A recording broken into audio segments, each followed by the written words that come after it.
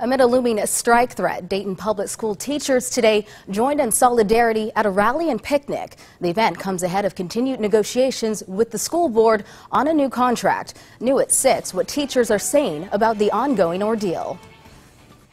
I do not want to strike, but I am willing to strike. Teacher and parent Karenza Hughes said the strike threat is a scary step, but a necessary one.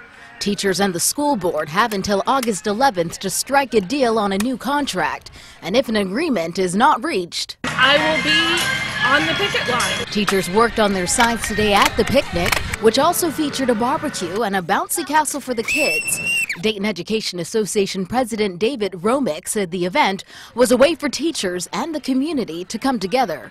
A show of solidarity, some camaraderie with the community, and uh, giving us a good, strong feeling going into mediation next week. Sticking points include pay, benefits, and job security.